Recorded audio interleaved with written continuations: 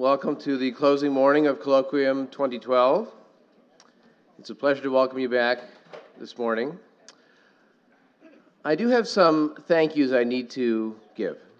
One of the nicest things Sherwin always did whenever you talked to him on the phone was he would end almost every phone call with thank you and then hang up because he always knew that what you were doing was important and worth acknowledging. So there are a number of thank yous I need to offer. There is a list of thank yous in the program book, which I do encourage you to take a look at. And if you do see people with those name tags on or doing the jobs, uh, make sure to thank them as well. But I do want to recognize a few uh, organizations and individuals. Um, first, I want to thank uh, Fiedler Hillel at Northwestern University for partnering with us on this program, for making this space available to us. Uh, it really, I think, has been a wonderful meeting space, and the access to the campus has been great. And so I really appreciate the opportunity to be able to come to this campus and to do our program here. And in relation to that, I also want to offer a great thank you to the technical staff of the uh, IT department of Northwestern University that has helped to provide all the projection assistance, the webcasting, the recording. Mike Curtis has taken the lead on it, but Stephanie Foster has also worked very closely. Uh, Mike, unfortunately, wasn't feeling well this morning, so in absentia, I thank him. I thanked him last night also uh, for their hard work in putting this program together so that it went very as smoothly as it did.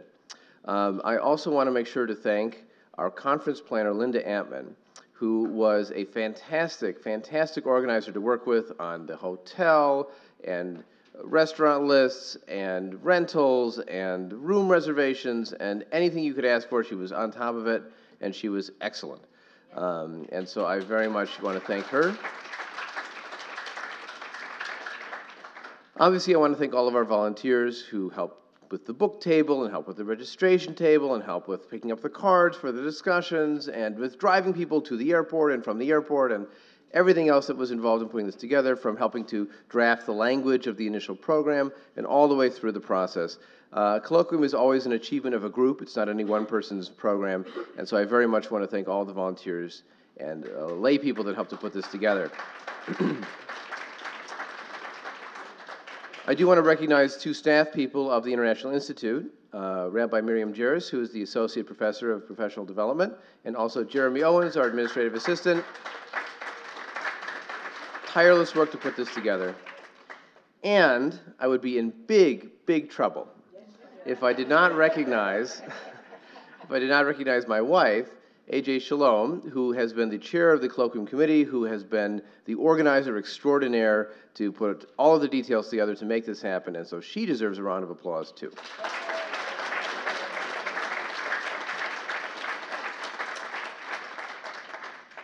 And last, I have to offer a thank you to our presenters.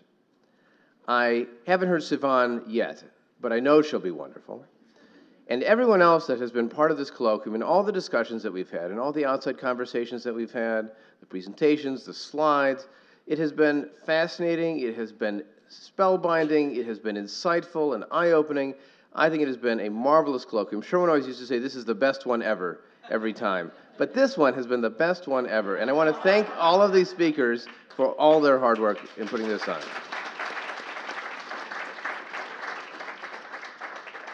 And so now, without any further ado, I would like to turn over the program to Rabbi Jeffrey Falick, who will introduce Rabbi Maas.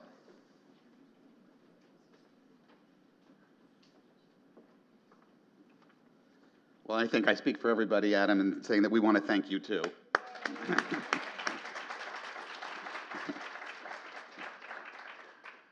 So when I first joined this movement, which was just a few short years ago, one of the things that I was clueless about and very curious to know because of my own background was what the connection was to Israel. Israel, in many ways, Zionism was my, uh, was my religion growing up.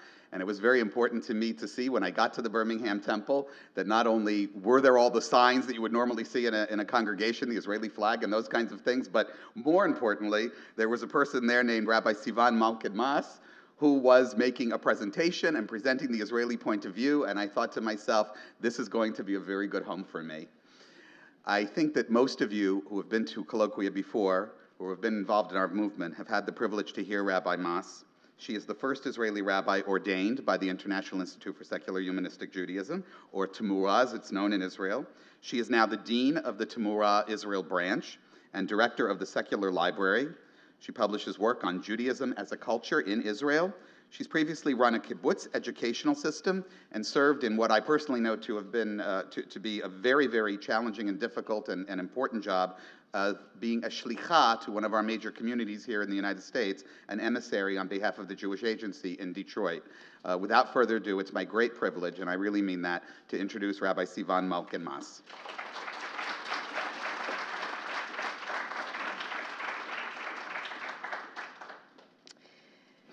Um, thank you for the uh, introductions, um, and uh, thank you, Adam, for pulling all this together. Without your leadership uh, on so many aspects of this uh, institute, we wouldn't be here today.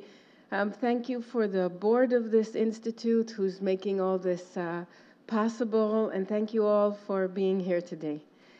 Um, I am excited.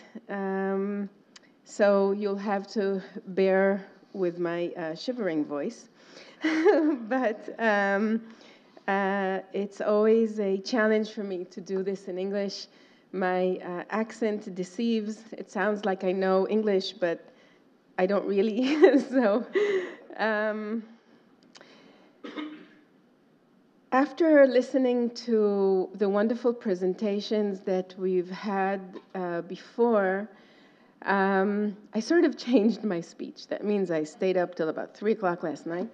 I mean, today. And um, trying to figure out uh, what to do. In other words, not what I should be talking about, uh, but we have to go out there and do something.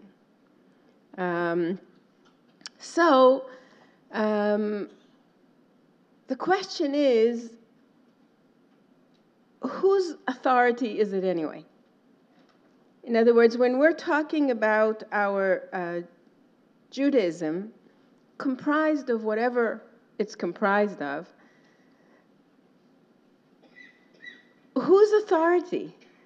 What's the legitimization process of this? So, I would like to remind you the way that uh, Sherwin will probably have started this talk. And he would say something like this I think. If we would like to summarize the uh, roots of um, the secular humanistic uh, Judaism, we would say that probably one was the Enlightenment, which transformed the thinking of people in Western Europe spread over the Western world, embracing the Jews. The Jews didn't start it. The second would be what he referred to as Jewish nationalism, which was the Zionist movement. Its aim was to normalize the Jewish people, to give them territory, independence, and dignity. We could say that wishing for Israel to be a normal country is both a blessing and a curse. When you don't have territory, independence and dignity is what you wish for. But needless to say, when you do have territory, it's a problem, may not be the solution. But we're not going to get into that. then he would probably talk about dichotomy and would say the secular revolution created overwhelming dichotomies. The dichotomy of knowledge, the world of science altered the way we see the world and what we believe. Think about beliefs that science has brought to us, not only knowledge, and dichotomy of values. He talks about the concept of suffering. He talks about the fact that for thousands of years, or at least hundreds of years that we know of, people lived a very poor life, a life of suffering they attributed to that suffering a redemptive power. Why? Because the focus of life was not this world. But why would it be? If your life is suffering, why would you want it to be the focus of your life? So the focus is the life after this life.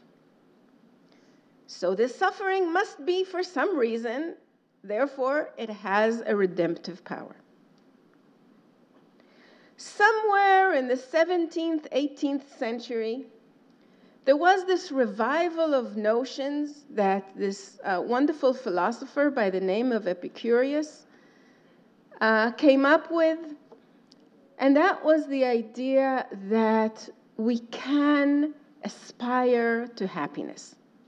It is legitimate to aspire to happiness now in this world. Just think about the music of Mozart for a minute. What joyfulness, what happiness there is in this wonderful music saying happiness is okay. Think about the Declaration of Independence saying legitimate, aspire, pursue happiness. This is what we should be doing.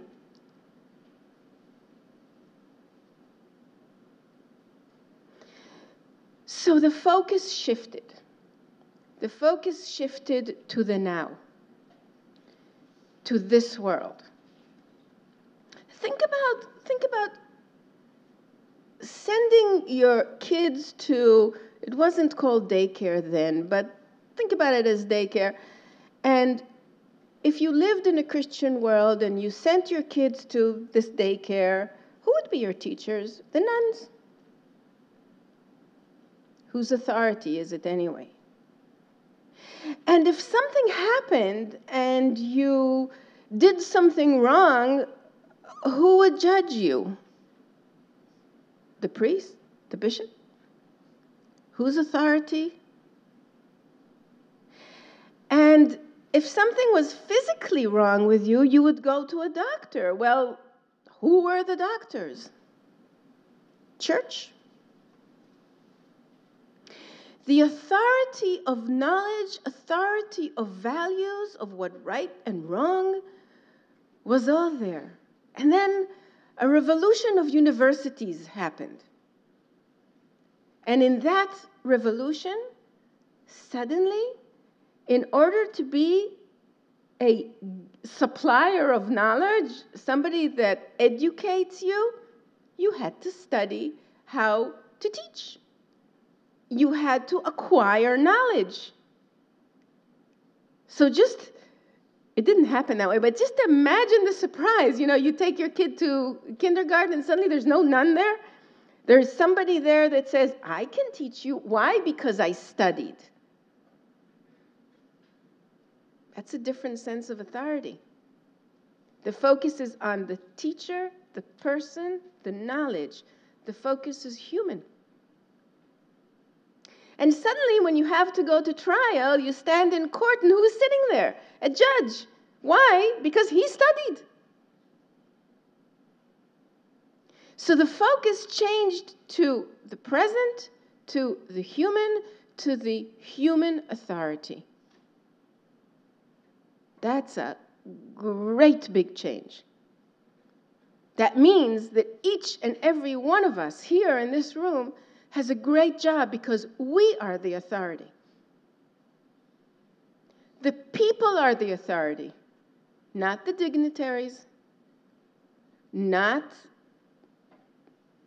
not anybody that is given power by a higher power, but power that we empower ourselves and who we decide that for a certain time this person should be our leader. But then he may not be our leader for something else. Or maybe not for long.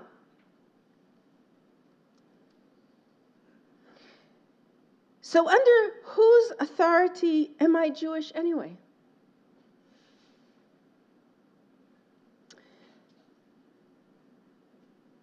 And you know, sometimes you, you have these days where, sometimes it's many days, that you don't necessarily feel one way or another. You don't stop to think all the time who you really are. But we do have a sense of identity. And one of the I believe, most important questions is to figure out what does this term mean? What's identical to what? What's this identity thing? In Israel, we walk around with an identity card, IDs. Some of you may have that too.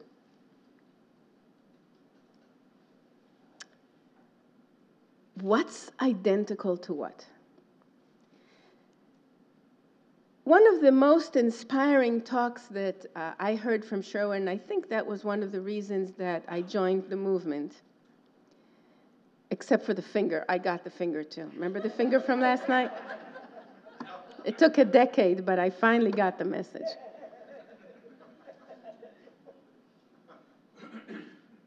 And he said that you have to say what you believe, remember? And do as you say. Okay, here we have the identity.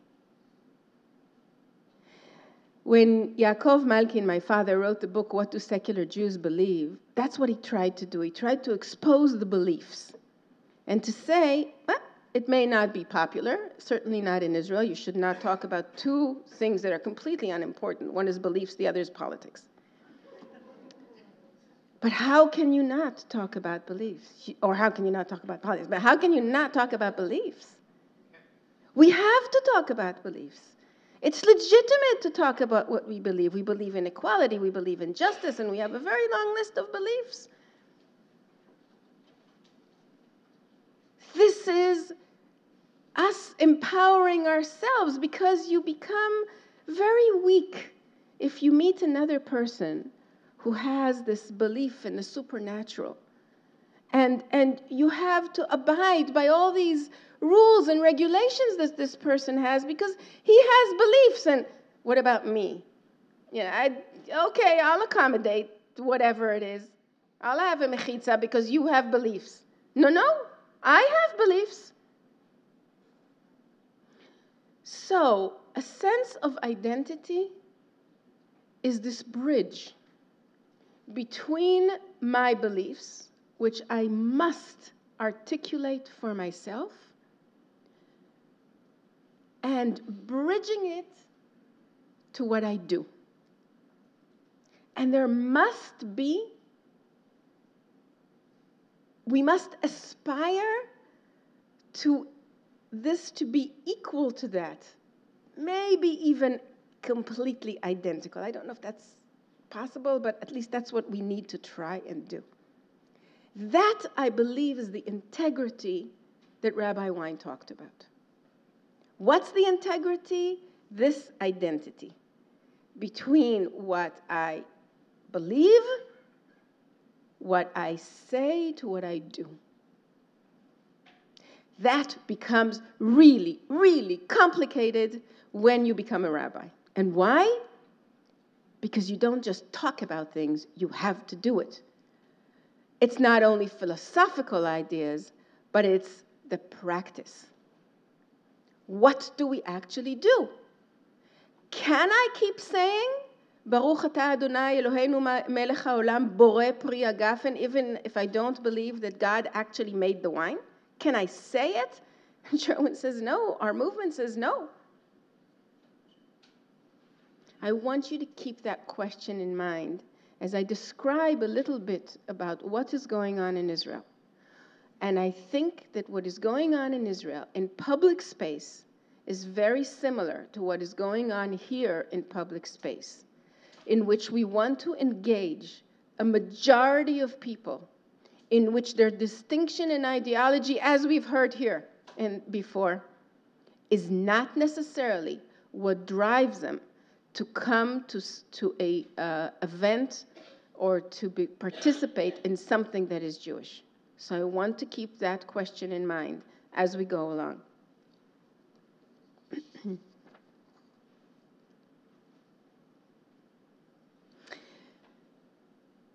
so, the reality that we uh, live in is a reality in which the authority could be us, that legitimatizing our Jewish culture could be completely up to us. I've asked by uh, members here in the audience to explain a little bit about what's going on with the marriage uh, status in Israel. So I will take you through this. There was a mandatory ordinance which, um, which, which says this that um, matters of personal status, including marriage and divorce, of the courts will be under the authority of religious communities. That's from 1922. And believe it or not, it didn't really change since then. The issue is, Israel didn't just abide by this Ottoman rule and then British rule and then Israeli law, but it's also signed the UN Declaration of Human Rights, which says men and women of full age without any limitation due to race, nationality, or religion have the right to marry and to found a family. Remember what I talked about identity? if these are the values and this is the law, some discrepancy there. So, who cannot marry in Israel? Let's see what we're talking about. Persons that are not classified by religion.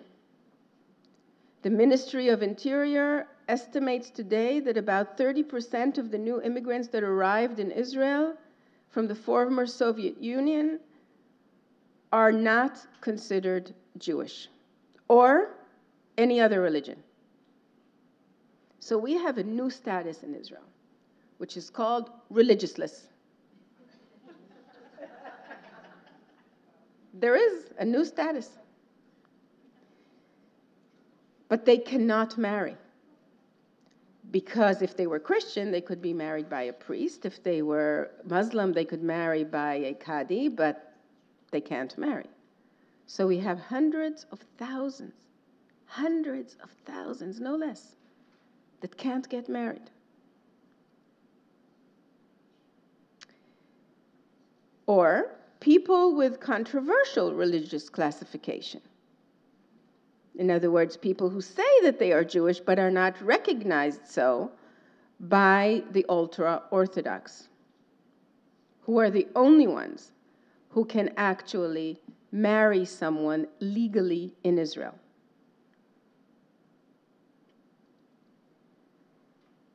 Or couples with different religious affiliation. The people who we want to embrace are certainly part or the reason why we have this colloquium may not be able to get married in Israel, at least some of them. According to the laws of religion, there are those who are forbidden to marry. Another classification. For example, bastards. Who are they? Persons born to a woman who was married to someone else during her pregnancy. That's by the way, what it is. So if people confuse you and tell you it's out of wedlock or all kinds of things like it's just not true. There are, all, there are other little halachic uh, things that I won't talk about uh, right now, but that's basically it. So don't get confused. Certainly, same sex couples cannot get married in Israel. This is a different issue than being um, registered as married in Israel. What does that mean? That means that if you want to have a civil marriage or any other kind of marriage outside of Israel, you can be registered as married when you come back to Israel by the Ministry of Interior. So you can either to sum it up, in order to be listed in Israel as married by the Minister of Interior, you can either have a religious marriage or have a civil marriage outside the state of Israel. The state of Israel is obligated to recognize marriages conducted in other countries. But there are other statuses in Israel which are not unique. That is similar in other countries in the world, and that is what we call cohabitation or common law. And that what it, what um, it means in Israel in practical terms, because we want to talk about practical terms, it basically means they have the same rights as people that are married. There's no real distinction. Uh, that's also important to understand. And this was basically achieved by uh, uh, people who fought for rights for same sex couples and were from the early 90s were able to make a significant change in Israeli law to create this um, almost equality of rights of people who um, live together and um, therefore there is hardly a difference. There is a great danger in future legislation in Israel, which is on the table. One is the waiver of this, of marriage, of nisuim, of, of this option, of saying, let's create something else. Not only on the table, but it's already there. And that is the uh, um, couple covenant, uh, covenant, brit zugiyut, which is something that was gained.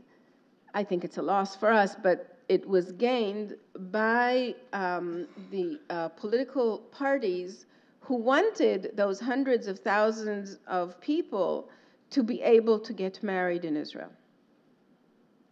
But by doing that, by saying you can't get married, basically, we will call it something else. We are stripping them from their right to get married.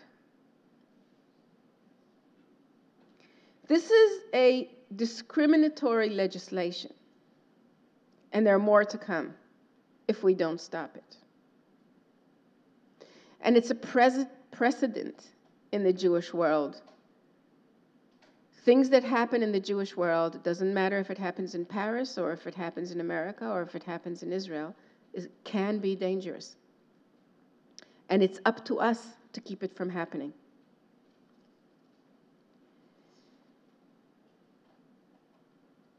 The other danger, and that's on the table also, is canceling the status of common law. And there are people who are fighting this. And we must make sure that never changes. Because if we would stop and ask for numbers, I can't tell you how many people today choose to live together under common law marriage, cohabitate, Nobody knows. So we don't know how many people opt to live together as couples and have families, and there are various estimates. I don't want to even start throwing away numbers here because there are various organiza- organizations that are throwing up, throwing out, sorry, many different numbers. So it would be not okay for me to, to, to give you these descriptions. But we know that there is a growing number every year, quite stable, of more and more people who can get married by the Orthodox rabbinate who choose not to. Who, we know these numbers because we, if, if they get married outside of Israel, as I described before, and then sign in at the Ministry of Interior, we can count them. So there's a growing number. It's about a quarter of the marriages that are going on in Israel today with people that could have gotten married um, otherwise. So, where is this question of authority? Whose authority is it to marry? Is it really up to the Orthodox? Is it really up to our Knesset or to our parliament? Think about it. There's a great change going on, shifting authority. If people say, I don't care, think about the power this has. I don't care. I don't care if the Ministry of Interior writes me up as married. I don't care. You're pulling away the rug under their, their, their feet. They don't have any authority. If nobody's going to go get married with them, they will lose the authority. And the more people that don't, the more effective this becomes, and it's becoming a threat. We'll talk about it in a minute, too.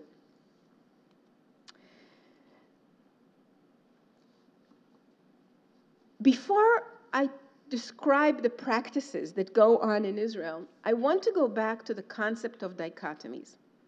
Because I think that one of the things we've been discussing here is uh, personalities, people that live with very different backgrounds.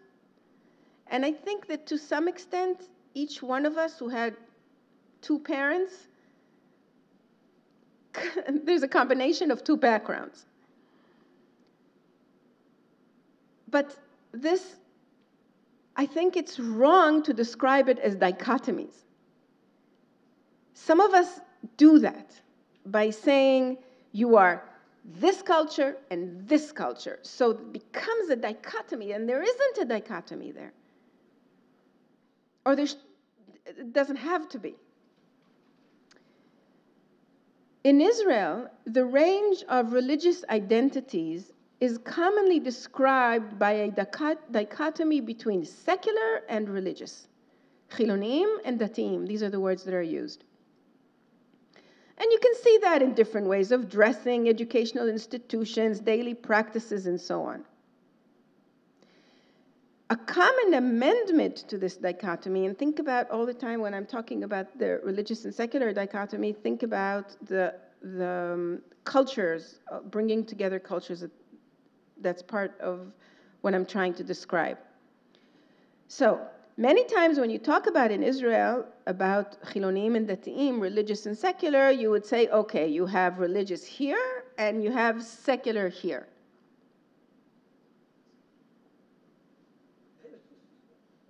What's the axis here? I don't get it. Are you religious because you believe in God, and the less, less, less, less, less, less, less, you become secular? That's not what secularity and humanism is about. It's not, we're not on this axis. So if you put one culture here and one culture there, was my mother half pregnant? it doesn't work. It shouldn't be there. There is no access there. Bringing this thing together, saying to us, figure out what your identity is, figure out what you believe in, figure out the language that you use to describe it. Is, is the language that you use coming from this uh, uh, uh, cultures, these cultures, then that's your language, then that's your identity. It's not a half a half, it's not a third and whatever. It's not. It shouldn't be counted.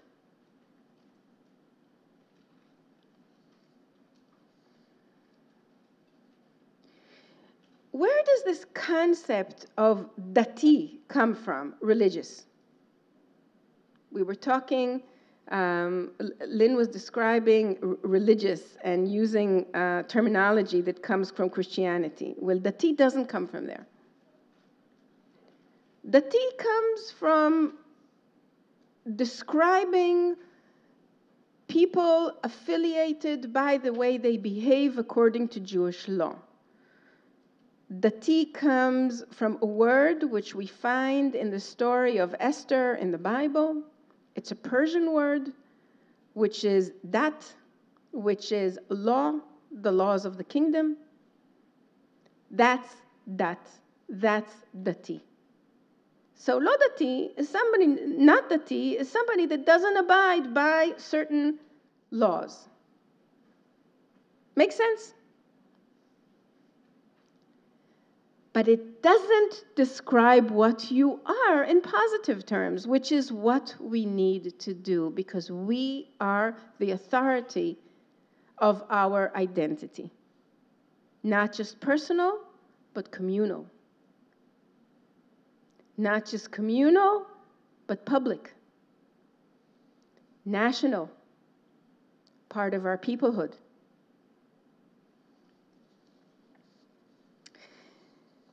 When we describe what is going on in Israel, there was a conference now in Haifa uh, which was talking about spiritual Judaism, describing the phenomena in Israel which is sort of under the radar that nobody talks about says that conference, and describing the new age of Judaism in Israel, new age, not only new age, but also new age. And let me give you just a few descriptions of things that are going on in Israel that will resonate, I am sure, as things that you see around here. Okay? So,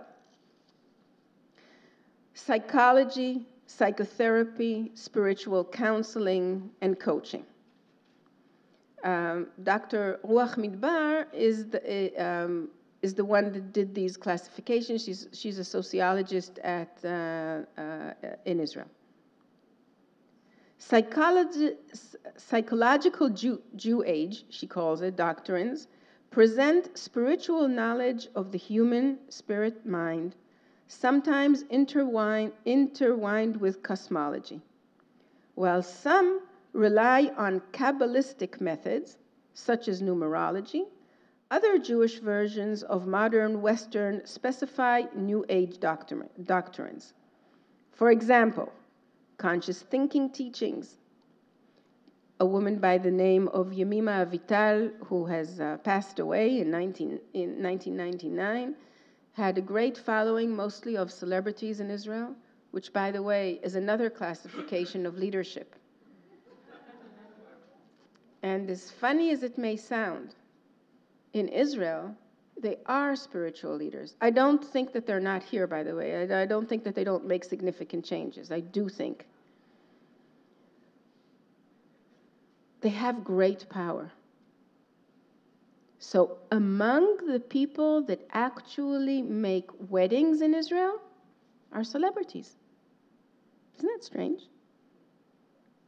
Not really, because if we have the authority to decide who is my authority, and I think a great writer or somebody else that I appreciate can marry me, why not? It makes sense. It's not that I would choose the same celebrities they chose, not necessarily. But why not? I had a discussion with uh, A.B. Yehoshua a few years ago, the writer, who said to me, What is this nonsense? What are you doing? I know the authority is in us. I mean, that's like oxygen that I breathe. That, that I breathe. But weddings? Are you nuts? Baby namings? You? And we had this long conversation, and I said to him, I came to him and I said to him, listen, I want you to write this, and I want you to write this for us. And it's a whole other project we should be talking about some other time. And after about an hour and a half that we sat together, he says to me, You know what? My daughter in law is going to have a son. They asked me to do the ceremony. do you have anything? And you think that was the only one? I met with Chaim Be'er, another author in Israel, very famous. I had the same conversation with him. A week later, he was approached by a very good friend of his. He wanted him to wed his daughter. He called me up. So you get to these intersections in life in which you need a solution. You finally have a challenge. You didn't have it before that intersection, now you do. So, not only is the authority in us to be the leaders, the authority in us is to create these intersections, is to create these challenges. Because if the family does not meet on Friday night, or on Saturday, or on Hanukkah, or on Pesach, there is no question. If we meet in Thanksgiving, we have a challenge for Thanksgiving.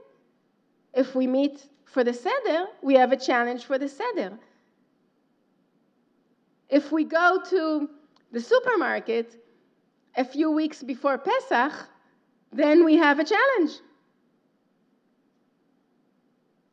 So the, we have the authority to put the question mark, to create the challenge. So, Yemima Avital, New Age in Israel, was born in uh, 29 and died in 99, became the celebrity of uh, uh, celebrity of celebrities. And she's passed away, and she has some uh, followings, followers, and um, she has made a significant uh, change in people who live a secular way of life and think about it, I'm distinguishing between people that live a secular way of life and secular people who are aware and uh, can articulate what their secularity is. It's a, it's a completely different uh, uh, term and it's a completely different uh, way of life. But people who live a secular way of life uh, also create uh, groups like this, like Yemima or Netanel Magar, um, different people in Israel. Then there are groups that are um, distinguished as body and soul oriented practices. The holistic approach combining body soul practices are, are converted to, Ju- to Judaism in an attempt to identify them as being of Jewish origin or to offer a Jewish version of them. Listen to this, such as Aleph Bet Yoga or Torah Yoga, you have it here too. An ancient Jewish Torah yoga, an ancient, sorry, um, another, another classification, an ancient Jewish martial art called Abir. Did you hear about that? Okay. Revealed in 2001 after being concealed for thousands of years, warfare tactics and a balance between physical power, inner power, and spiritual strength. So things like that keep coming up, not only in Israel. But that's part of the world we're living in. That's part of the world we're talking about of all this Jewish um, ability and creativity that is going on there of people that are living a secular way of life. Nature veneration and feminism.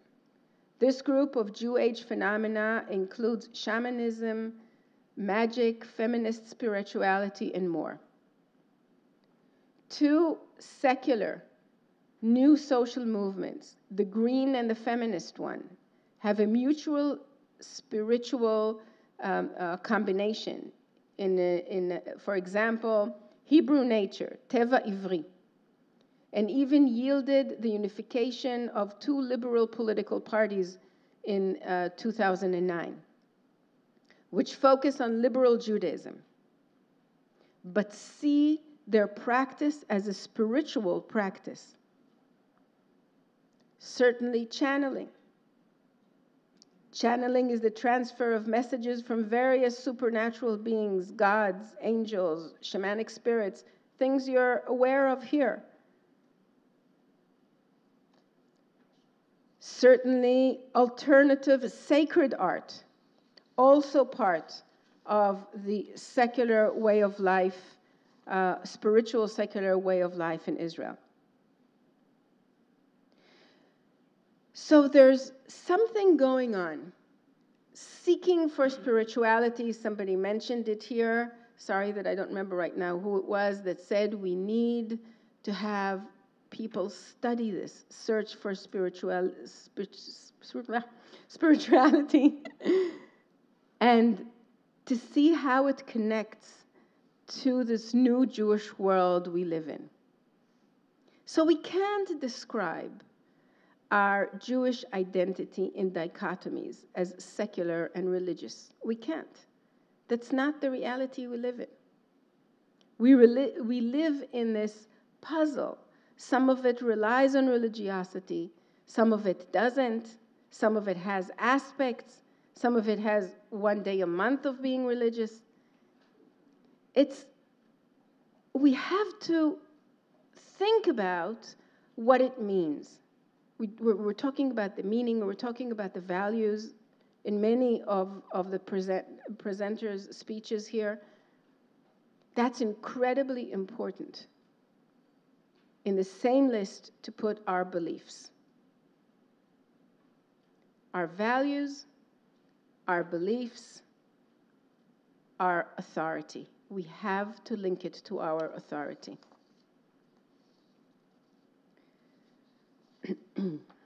okay.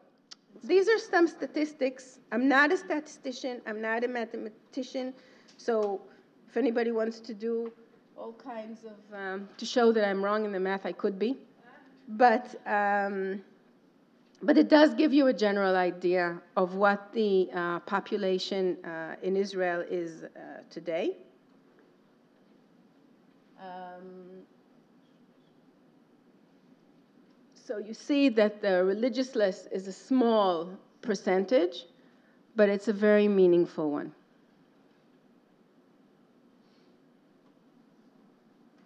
This is a description of uh, what, uh, what is religious, what is religiousness, and the situation that we found ourselves creating. And why am I saying we and not just Israelis?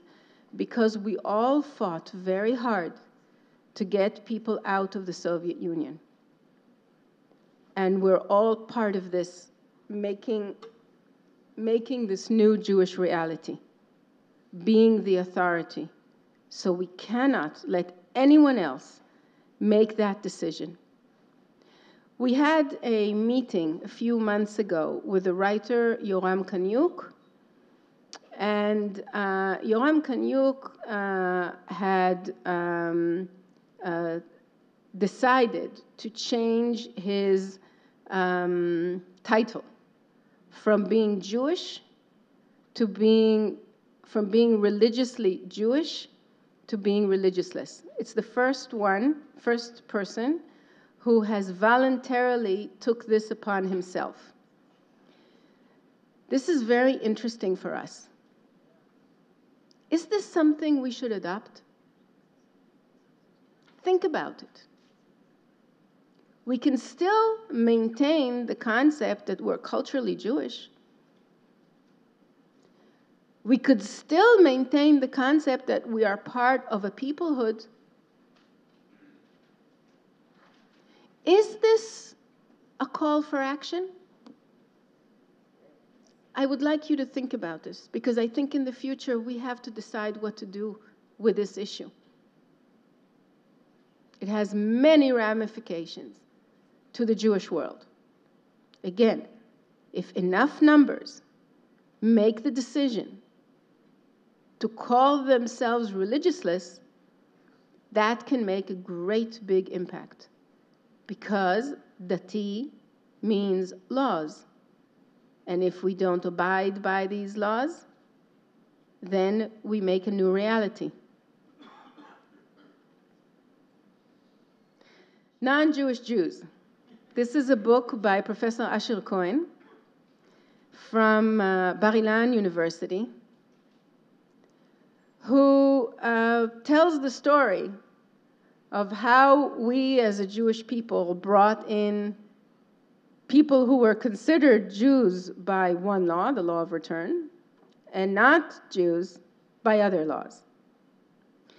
It's a very interesting uh, uh, phenomena, but in a country where there's no civil marriage, and we established that fact before, it is an issue. It is an issue for the Jewish world. So there are many organizations around, many, hundreds of organizations around that try to go around that. In other words, to create new laws or new practices or a new reality in Israel, such as this one, which is a big cry for prenup. And I want to tell you that it's a very interesting cry because many religious and some even ultra Orthodox women wrote in Israeli newspapers saying, Women, make sure you have a prenup.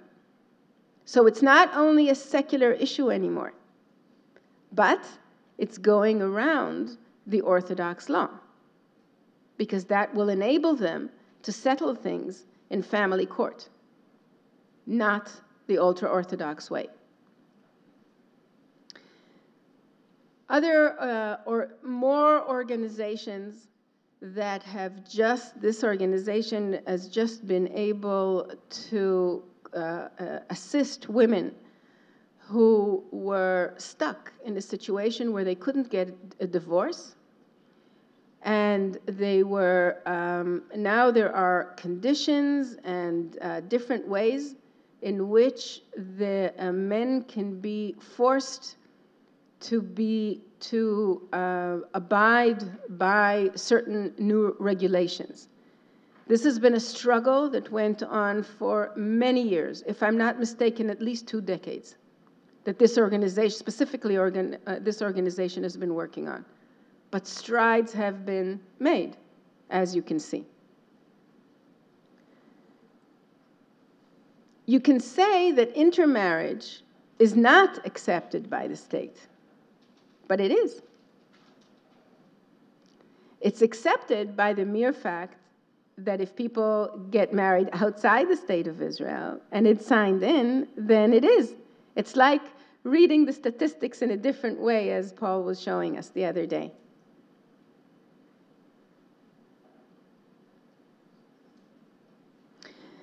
So, the authority is in us, the legitimization is in us, and how should we do it? One way, which is not listed here, is to make sure that we vote the right people. But that won't happen. Maybe in the future, not in the close future. The system of government in Israel doesn't work that way. It probably should, but it doesn't. So we have to do. We have to make a difference. We have to change, and we are.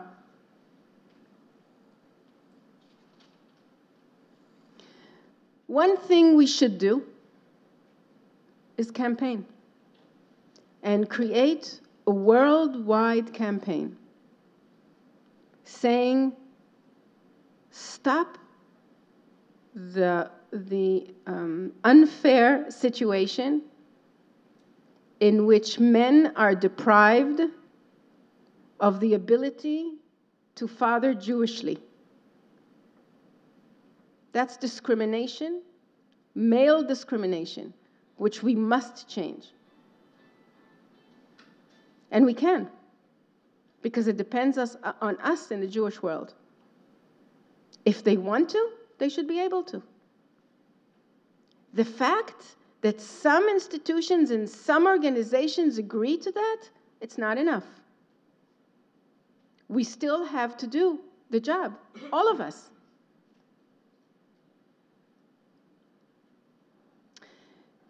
New Family is an organization that decided okay, so common law marriage is not something which is regulated in Israel in the sense that you can go somewhere and show a card that you are identified as cohabit. Okay, you got it. so they created a card, and people can sign up because it's our authority.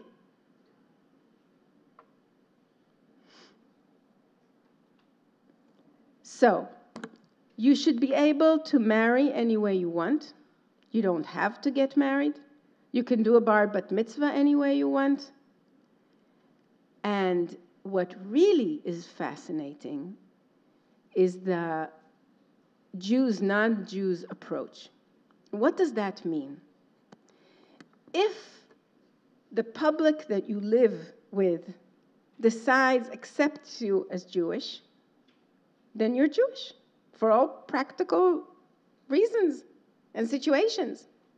And that's what happened in Israel.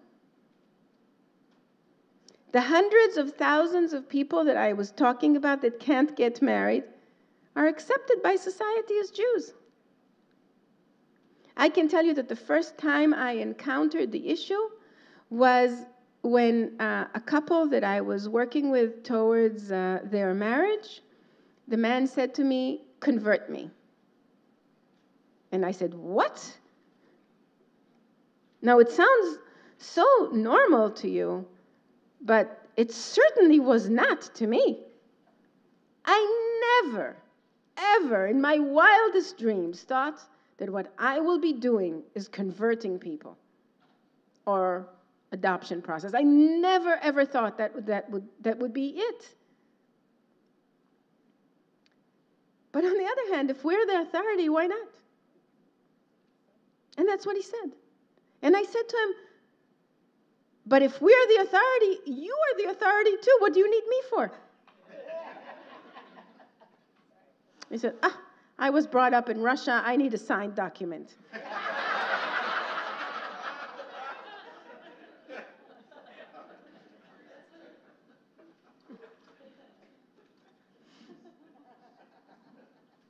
we belong to a few coalitions in Israel. We is the International Institute Tmura. This coalition is called uh, the Forum for Free Choice in Marriage. In other words, however you want to marry. A coalition of about 30 different uh, organizations. And this is a campaign that we uh, came out with um, which uh, talked about the fact that we're, everybody's trying to confine us to one frame. And we can't be confined into one frame. Not of who's a Jew and not of how to get married.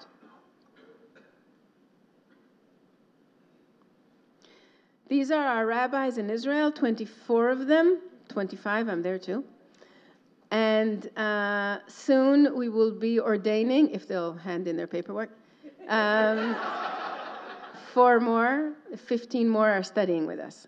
So we are doing weddings, just like the Reform movement is, and the Reconstructionist movement is, and the conservative movement is, and none of our weddings count, especially if you're a woman, nobody cares.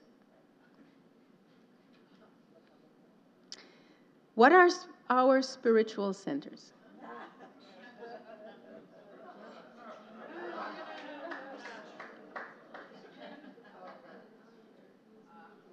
The symphony, the Holocaust. Almost every major city in the world has a Holocaust memorial. Is that our spiritual center? Should it be? Can we do something there that is very, very meaningful for everybody? Should we leave them as memorials that we come to look at? Should we revitalize them in some way? Is that one of our public spaces? Is that our public space? Is that our spiritual center? Many of you have been to um, presentations given by Dr. Adolfo Roitman, who looks at Capitol Hill of Israel and tries to understand its significance of how Israel is building itself as a normal country with institutions that all have relations to the spiritual center. The universities, are they our spiritual centers? What are we doing within the universities? We've heard all kinds of ideas here. I was trying to think what the significance is of the fact that the podium has only some of the name of this institute.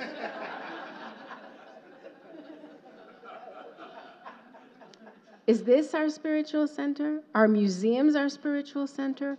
What can we do within the museums? I will give you two stories, and with that we will end.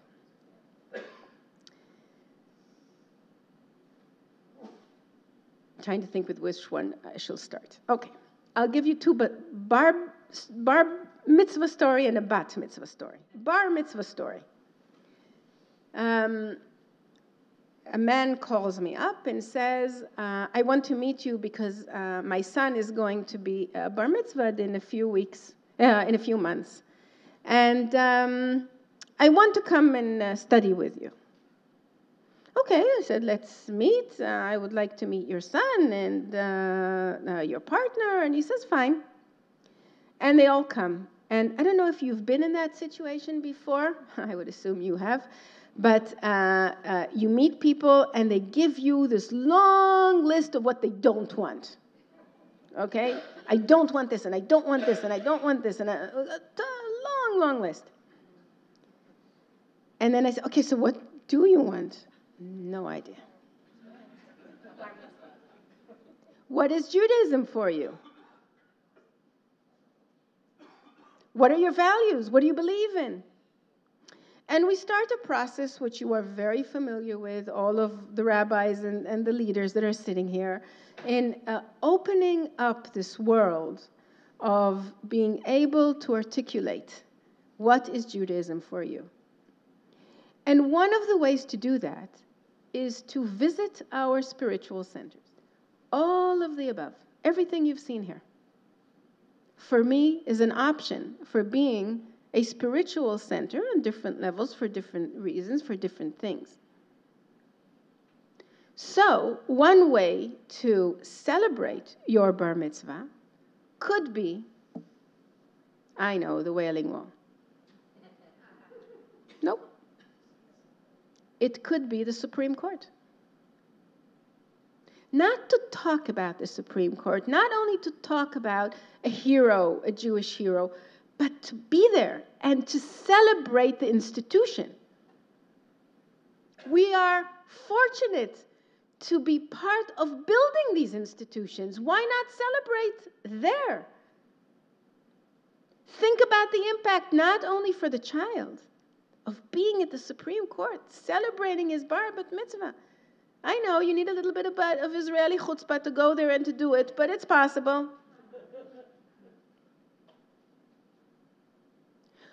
Or if you want to read from the Bible, not necessarily Torah or the Torah, why not do it? Why not choose one of the magnificent uh, um, synagogues within the Israeli Museum who don't operate a synagogue, so make them operate a synagogues. In one five minute walk, you can choose a German synagogue or a Ethiopian synagogue or a synagogue from Suriname, or you can choose. You can walk around and say, ah, that's mine. So this young man, after working with him for a while, took one of those. In Israel, it's called Madonna. Probably here you have a different name for these mics that you put like this on you and everybody can listen. Okay. Just imagine how the kid loved that. You do? You call it Madonna here too? Oh, okay. I thought she was famous for other things. Anyway, so, so this kid who was so empowered to lead this group through the Israeli Museum to talk about our national Capitol Hill, to show the difference between Capitol Hill during the Second Temple times, and those who are going to meet me in Israel in a few months are going to do, do just that. And to see the Capitol eh, Hill of Israel today, to be able to say, I own this. I am the authority to explain to you this geography. I can tell you what the meaning is. I can explain to you why it's such a normal country. To take you to his synagogue of choice and to read from, he chose from the Torah something he wanted to read. So he read it there. And it was so empowering. And the other story, which is also about the museum, I can give you other stories about other places, but we're talking about the museum now a young girl with a mother and a father uh, arrived one day in um, some place. I'll tell you about that place some other time. And she was extremely shy. Extremely shy. She, would, she walked around, her eyes were like lowered all the, all the time. And in come a mother and a father. I spoke to the mother on the phone before. Not, I didn't speak to the father. The father comes in with a kippah on his head. And uh, we walk into the room, and there is tension. I can't even d- begin to describe the tension in the room. and I hear the story. Imagine the girl, okay? She's sitting there like this, her eyes are terrible. And the mother says that she was born Catholic, and the father says he was born Jewish. And the mother converted and hated the fact that she converted. This is them telling me the story, and the daughter is there. She hated the fact that she was converted because now they're divorced. So, what did she convert for? Okay, let's see you getting out of this and doing a happy bar mitzvah, celebrate a bat mitzvah. so I said, okay, our next meeting is not here. I'm going to take you to a journey through Jewish culture. And let's do this in the Israeli Museum. And why? Because the definition of the Israeli Museum is its practice. It has Egyptian art, and it has South American art, and it has Israeli art, and it has Jewish art, and it has a normal country trying to say, This is who I am, this is my identity. I treasure treasures from all cultures. And we walk around through the museum and we get to an area where there's on the wall many, many uh, uh, Chanukah lamps, various kinds. Beautiful, beautiful. And we look at it, and for the first time, I see the girl smile. Not a word, but she smiles. And I start to talk to her about these candelabras and who she does she think made them? Women, men, old, young, Moroccan, Iraqi, Ashkenazi, Jewish, not Jewish. For most of them, we absolutely don't know. She goes home. I get a call the next morning. The mother in tears. She was so excited. She couldn't stop talking about these candelabras all the way home. And your ideas about Jewish heroines, which is not mine, Sherwin, was incredible. She wants to study about Jewish heroines. And I say to her, It seems that she's artistic, and she says she is and she studies ceramics. So I talked to her ceramics teacher, and she started studying about heroines, and she studies about Esther, and she studies about Bathsheba, and she studies about uh, Henrietta Szold, and she studies about various heroines. Now, we have many and then I ask her, by now I know her a little more, she feels more comfortable, she does these incredible statues. And then I said to her, And what about your mother? And what about your grandparents? Your grandmothers? And she says, They're not Jewish. So I said, What does it matter? This is your candelabra. This is your life. This is expressing who you are. This is where courage and dignity come into becoming bat mitzvah. This is the only law there is. Feel free to express who you are. And she makes these statues of her mother and her two grandmothers. And then I ask her, and what about you? This is three months into the process. We're friendly now. She feels empowered. And she says, No, I can't be amongst them. They've done so many things in their lives. And I ask her, Well, who's going to illuminate them? You should be the shamash. You should be the one who illuminates this candelabra. And that's what she does. Thank you.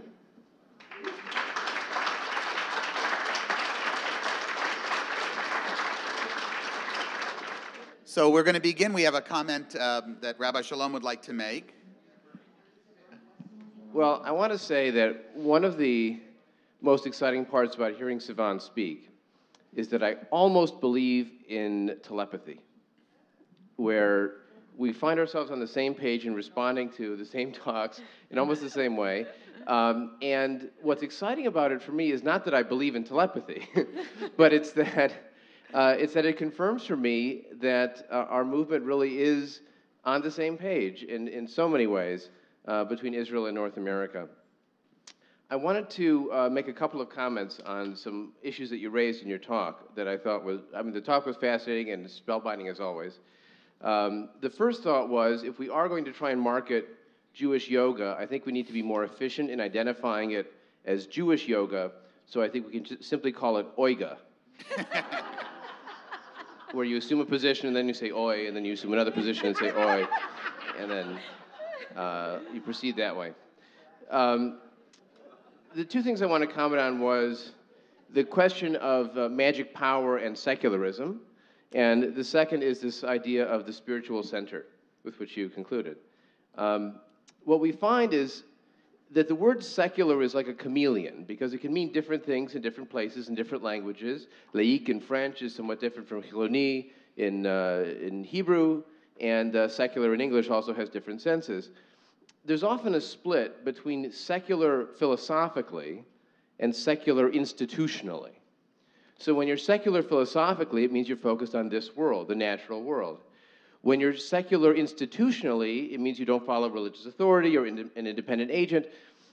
And those are very different concepts. At one time, actually, in the Middle Ages, there were what were called secular priests. It doesn't mean that they were non supernatural, it meant that they were focused on this world as opposed to the ones that were counting the angels on the heads of a pin. So, one of these challenges we have in people who define themselves as secular, we as a movement using the term secular to define ourselves, is, as we've found many, many times, what do the labels mean uh, with, with, those termino- with that terminology? And historically, um, it's doubled for both.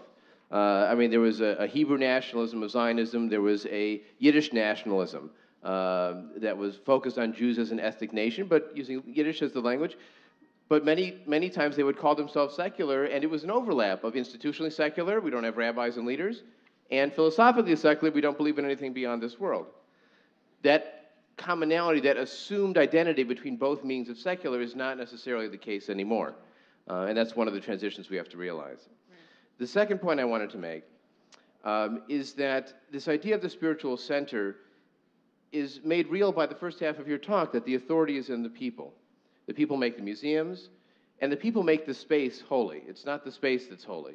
And I think Yaakov talked about this at a previous colloquium, where there was a major transition from the temple to the synagogue. Mm-hmm. because it was, transi- it was a transition from the Beit El, the house of God, to the Beit Am, even though you weren't supposed to call it a Beit Am. But it was the house of the people. It was a Beit Knesset, a house of meeting. The Beit Midrash, the house of study. It was not the house of God. And what made the space, you didn't need a building after, actually to have a full prayer service, to have a meaningful Jewish experience. You needed 10 men, of course, historically.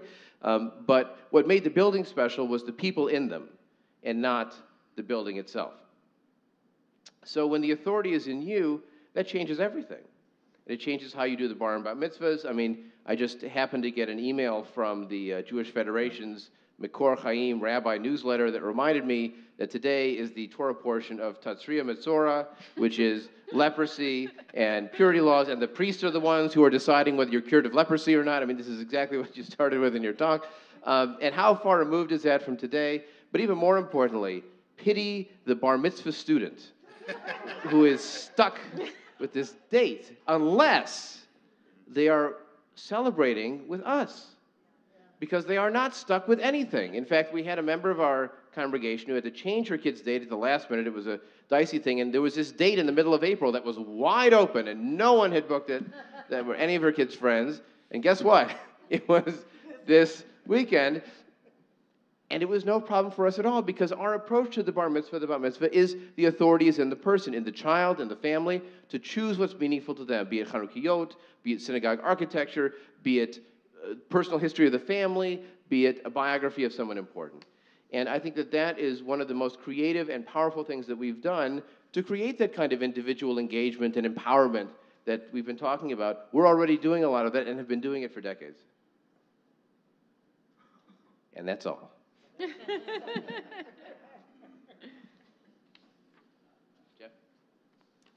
reading.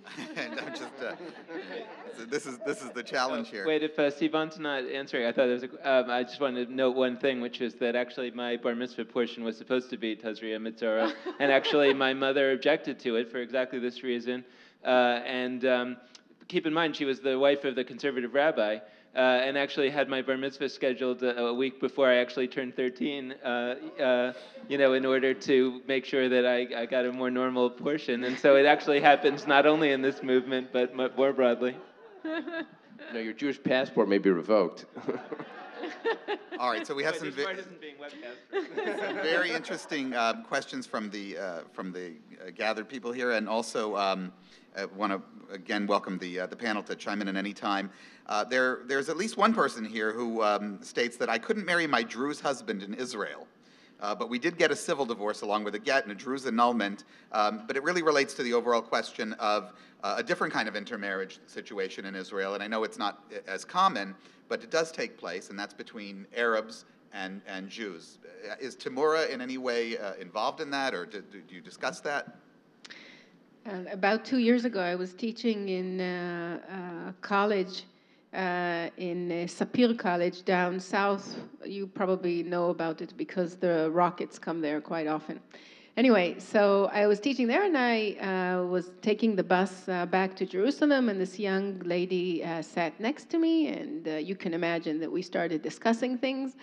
And um, I realized that she's teaching law in Sapir, and as we continue the conversation, I realized that she's an Arab, she's a Christian, and uh, she asked me, What am I teaching? I'm telling her about what am I teaching. And uh, then I decide to try this out. And I tell her, You know, I'm a rabbi. And she looks at me, What? Usually, usually you, you know, this kind of uh, uh, comment. And, um, and she says to me, Do you do weddings? And I said, Of course. And she says, Okay, there has no legal standing. Yeah, we both understand that. She's an attorney. And, uh, and I start to describe to her um, the whole notion of humanistic values um, and that weddings should describe and celebrate humanistic values. She said, wow, that's exactly what we need. Another story relates to this, and then I'll, I'll give a practical answer too. And the other story is, I think I told you this, that one of our, some of you, one of our, uh, one of the people that is going to be uh, ordained, uh, he when he came to us and we asked him, Why do you want to be a rabbi? And he says, Well, I live up north in the Galilee, and there are many uh, Arabs there, Muslims and Christians. And we have this monthly meeting of leadership from the area. And there's a Qadi and there's a priest. And the Qadi says to me, what, Why aren't you becoming a rabbi? That's why I came here for. So there's lots of that going on uh, in Israel, and certainly in Tmura, is to try and find a way uh, to create um, common spaces, common opportunities, common celebrations. Uh, we are certainly working on that. Uh, we are going to have um, uh, soon a, a, an event in which one of our rabbis is going to be reading. He's a poet, and uh, uh, he's going to be reading from one of his books. The name of the book is Sulcha. You can find it in the internet. It's written in Hebrew and in Arabic, and uh, it's an evening about uh, humanists uh, celebrating together. So certainly, we're looking for ways to do that, and as you can imagine, it's very complicated, but we're determined to try. Other comments from the panel? One other thought that I had from a previous session that I was curious for your response to. I didn't know if you were going to respond then, or if not, I was going to bring it up now. Um, and that is one of the Jewish community in this country's metrics of successful Jewish identity is identification with Israel, support for Israel, uh, endorsement of Israel, whatever you call it. And that is one case, as Paul pointed out in some of his statistics, where the children of intermarriage identify much less with Israel than, uh, than the sort of general Jewish population.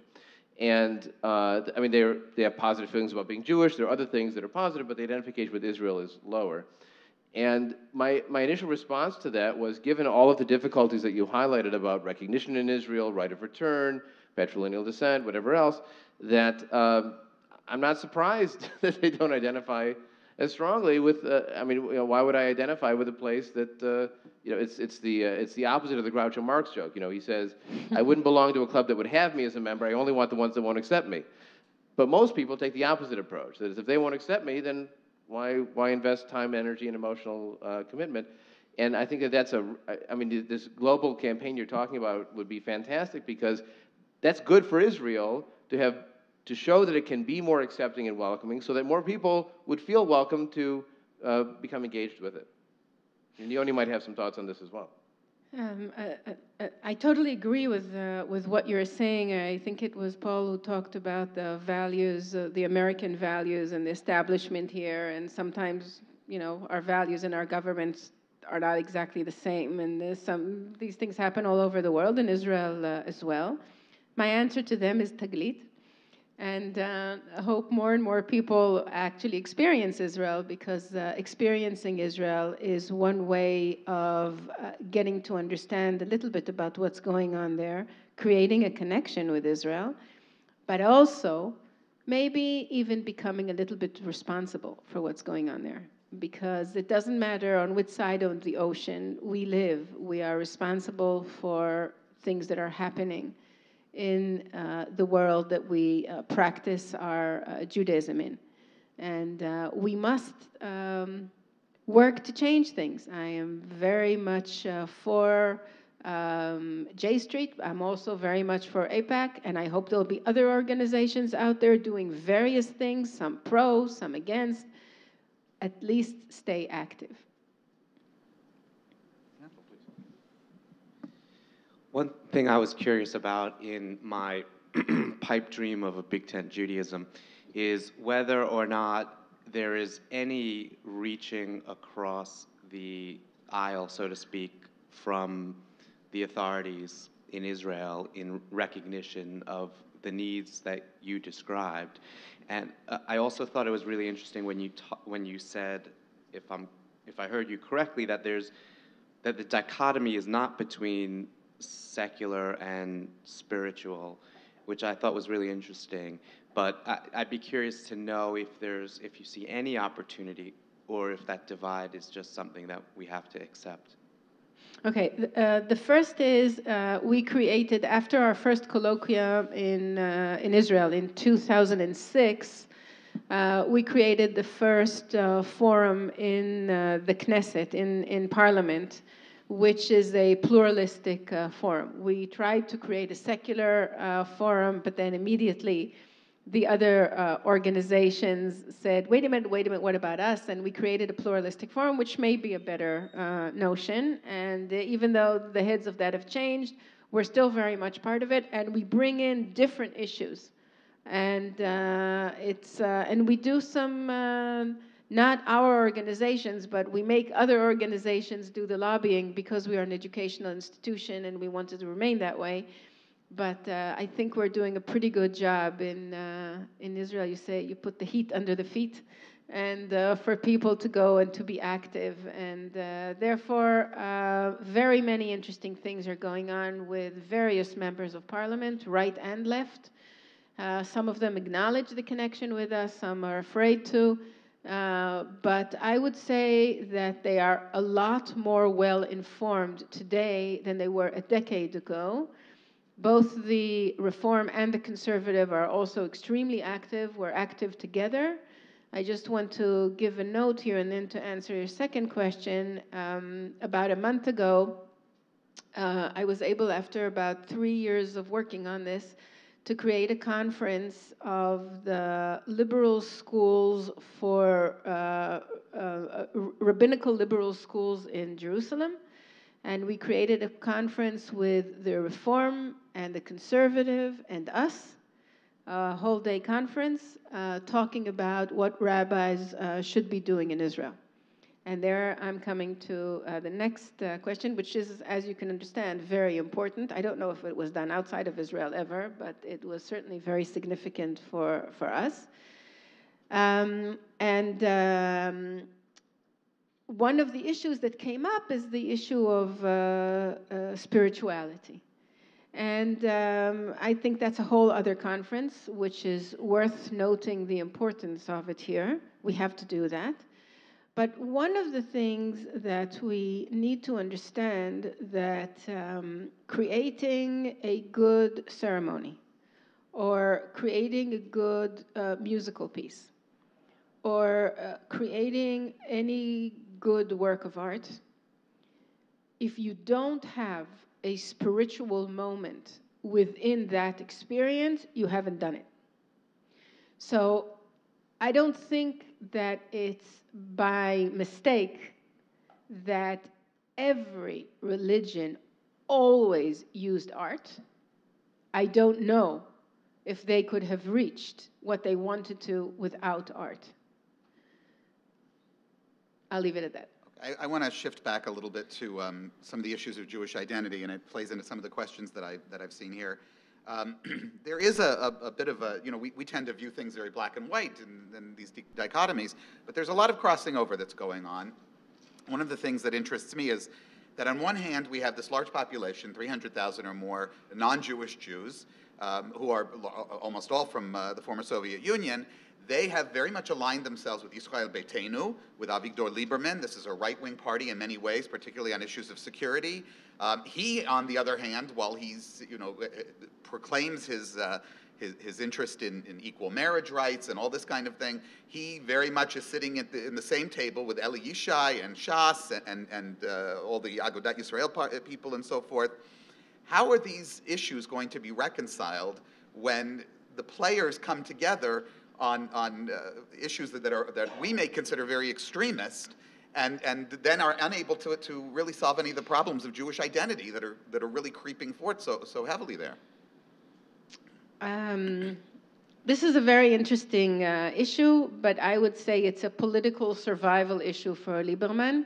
He certainly has a problem because ma many people in his constituency feel that he betrayed them and that this covenant of non marriage uh, is something that uh, is shown that very, very few ever went to get this uh, certificate or ever signed up. So they certainly feel betrayed uh, by him. And I don't know if it will show in the polls because there, as you know, people in Israel don't vote because of that. They vote because of other things. So um, certainly there's, there's a feeling there that he didn't stand up to what he, uh, what he promised them. Uh, we haven't been successful in Tmura uh, in uh, getting people from the former Soviet Union to come and study uh, with us to become rabbis. We're working diligently on that. That is a project for us. Uh, it's very, very complicated for many various reasons, uh, so I won't go into that right now, but it's I believe that once we have some inroads into that community, we will be able to make significant changes. Okay. Um, a, a lot of people here would like to know specific and concrete suggestions for how we can make a contribution to changing some of these, uh, these arcane issues in Israel.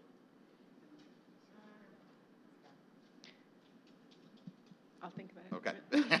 How, how much of this, and related to that question, how much of this is an issue of the setup of the Israeli political system in that parties can be fielded with a very small number of mandates, um, and as a result, you have splitting of votes that might otherwise be able to form stronger coalitions, right? That in, if you could raise the minimum number of mandates needed to field a party, that you would push people a little bit more towards central issues.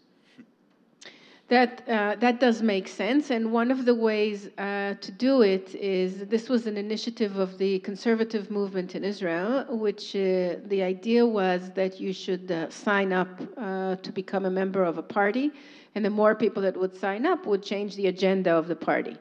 And uh, this is the first time ever, ever that we ever did anything like this, and we all got together around this issue and all signing up to the different parties to try and change them. And we did that with the big parties in order to do exactly what uh, you, you are uh, describing. But don't forget, and here I'm coming to everybody's role here, but don't forget that one of the most important things um, for us to do is to change the concept of what is legitimately Jewish. And that is up to us, people. Everybody in their own circle, we've got to be creative about how to do this. And we have to change the concept of what is legitimately Jewish.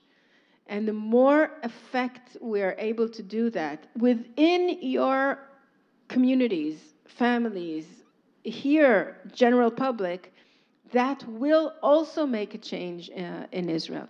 I'm sure of that. And one of the things we have to come out with this conference is to think, what am I going to be doing next? And we're waiting to see your ideas. I will be sharing you sharing with you some of our ideas, but they've already written down. They're less interesting. I want to hear what you may have to suggest. So make sure that you think about it and you write to us how to do this international campaign of changing of what it is to be legitimately Jewish.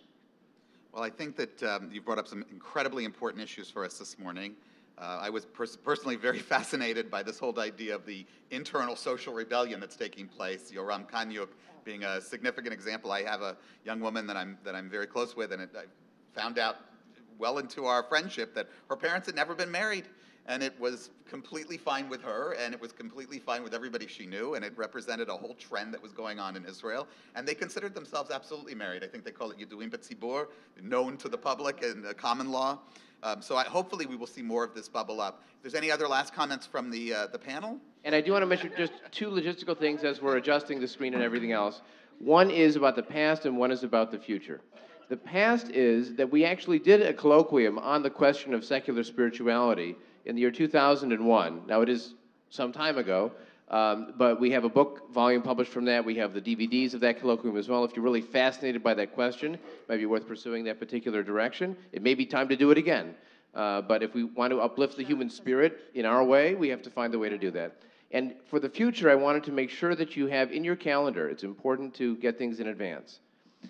In December, Tmura will be holding its biennial, biannual, every two-year conference, um, celebrating the ordination of the next uh, class of their rabbis. Uh, they've done wonderful conferences at the Israel Museum, at the Bible Lands Museum, in Tel Aviv, in Haifa. It really is a marvelous experience if you can go. It will be during Hanukkah. It's the Shabbat during Hanukkah. this December. Thursday is, I think, the 13th of December. Um, and so it will be usually a Thursday, Friday, and then onto the weekend, Saturday. So 13th, 14th, 15th. If you have family, if you have friends, if you've never been, if you want to go again, it would be a wonderful opportunity to connect with our fellow humanistic and secular Jews in Israel and also to experience all that Tmura has to offer. New dialogue.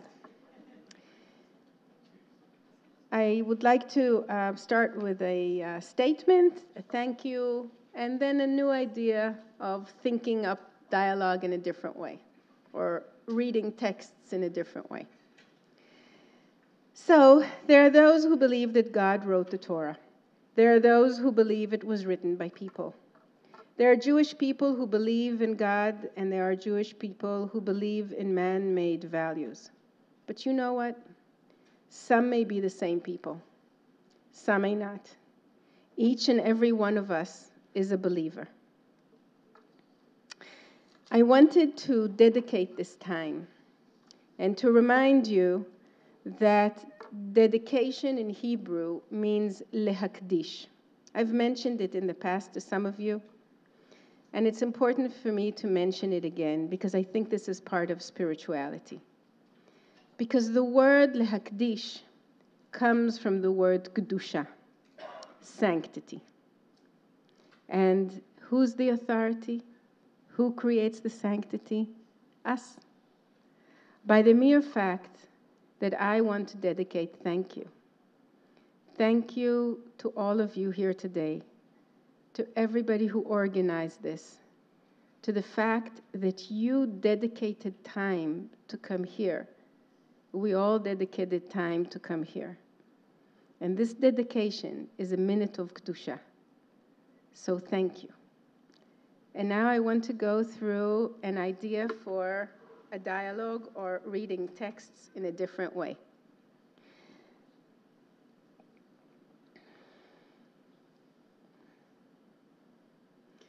Visual literature.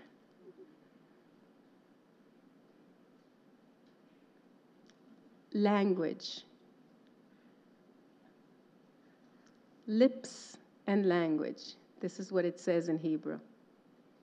Nechama Golan, an ultra Orthodox Israeli artist, talking to us, dialoguing with text.